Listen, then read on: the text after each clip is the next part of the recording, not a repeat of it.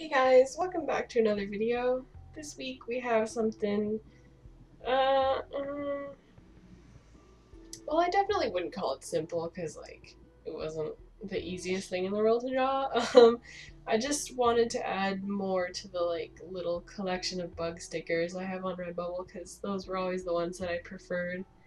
Um, they don't necessarily sell the best, but like they're just such nice little pieces that aren't necessarily tied down to any fandom, and I just really enjoy having them there. And I love seeing bugs illustrated like this or like displayed like this, but I've never actually like drawn it before, so you know, it's kind of kind of necessary to put that out there. Um, it's just a little Goliath beetle. Um, actually, while I was drawing this, I was watching a lot of videos on like the Vietnamese centipedes and they're such cool animals. Like I've wanted a pet bug like a bug a mantis. Sometimes I, I'm in like beetle mode. Sometimes I'm in scorpion mode. I don't know. Um, but I've definitely I've wanted a little pet bug for a long time but I just never I don't know. They're just so small and fragile. I'm so afraid to hurt them even though like I'm not like that at all with wild bugs. But I almost bought a um a praying mantis I just, uh, the expo I went to didn't have any for sale. They had plenty of like scorpions and tarantulas and stuff, but they didn't have any mantises, and that's what I wanted. So I figured I, I really shouldn't impulse buy something random. So, you know, I'm kind of glad I did because I still, like, don't know what I want. Um,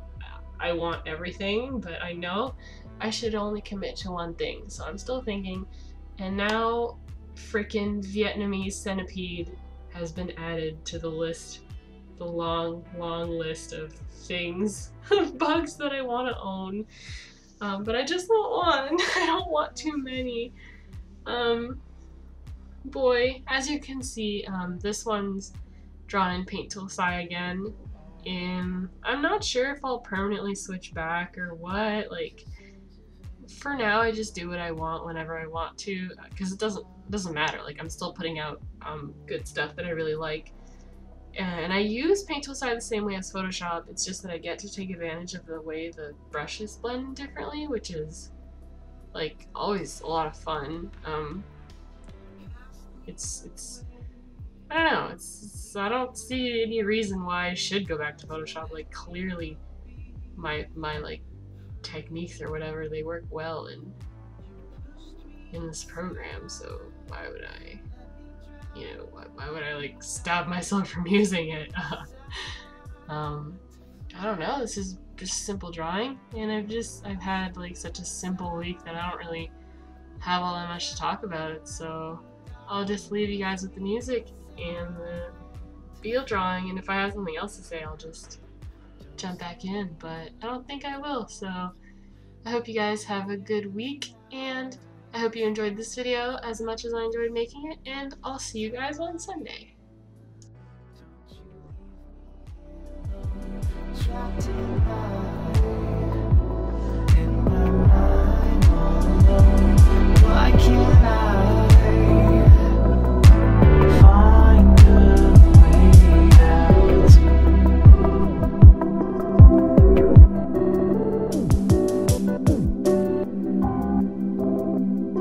Bye.